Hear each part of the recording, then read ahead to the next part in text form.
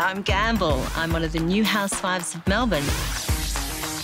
We live here on the beautiful Mornington Peninsula in Mount Eliza.